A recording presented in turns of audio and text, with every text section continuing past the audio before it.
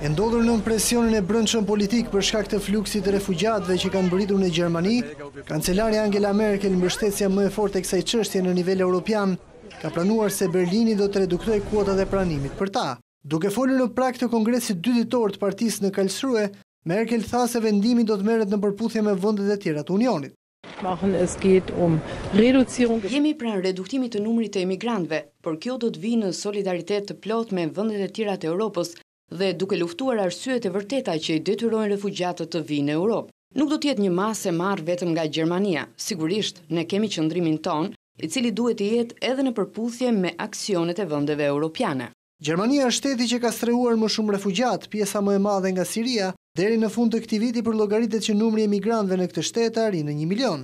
Plani gjerman lidhet me financimin e kampeve të refugjatëve në shtetin turk, libanez dhe në Jordani, në luftën kundër trafikantëve dhe në forcimin e kufijve.